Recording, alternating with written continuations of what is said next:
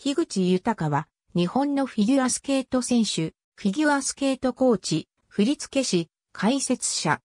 1968年グルノーブルオリンピック、1972年、札幌オリンピック日本代表。法政大学卒業。1949年東京都北区、東十条生まれ。幼少時は病弱であったという。1959年、小学校5年生の時から後楽園アイスパレスにて、スケートを習い始める。明星学園高等学校3年生だった1968年、1968年、グルノーブルオリンピックに出場。同年に高校を卒業後、直ちにカナダトロントにスケート留学。トロントクリケットスケーティングカーリングクラブのメンバーとなる。1971年に帰国し、法政大学に入学。同大学1年生だった1972年、札幌オリンピックに出場。同年の世界選手権を最後に現役を引退した。全日本選手権では1969年大会から1971年大会まで3連覇を果たしている。現役引退後は指導者の道を進み、後楽園アイスパレス、品川プリンスホテルアイスアリーナ、高野アイスアリーナでコーチを務めた。1998年長野オリンピックを控えた1990年代には、日本オリンピック委員会専任強化コーチに就任し、日本人選手と外国人指導者をつなぐパイプ役として活躍。選手強化体制の基礎を築いた。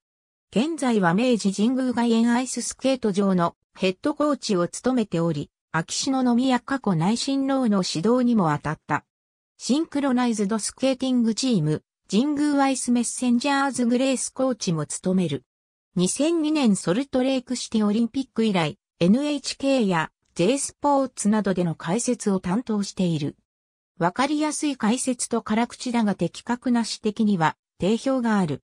NHK 杯国際フィギュアスケート競技大会では2004年より武士の最終日程放送中、キスクライにてエキシビションに参加する選手へのインタビュアーを担当している。このインタビューコーナーは翌2005年より豊かの部屋、2007年からはようこそ、豊かの部屋エキスクライと名付けられている。2013年、長年スポーツ振興を支えた人物や団体に贈られる公益財団法人ヤマハ発動機スポーツ振興財団スポーツチャレンジ賞第5回厚労省を受賞した。